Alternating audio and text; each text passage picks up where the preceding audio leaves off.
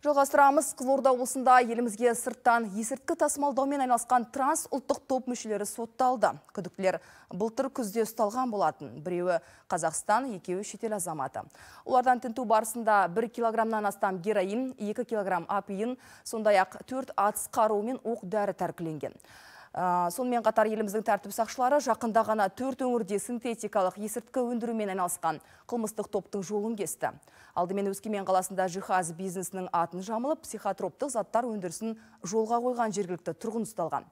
Тергеу барысында оның Қостанай, Петропавл қалалары және Алматы облысындағы осыған ұқсас зертханалармен байланысы бар екені анықталған. Тінту кезінде сатылымға дайын тұрған 6 килограммнан астам есірткі тәркіленген.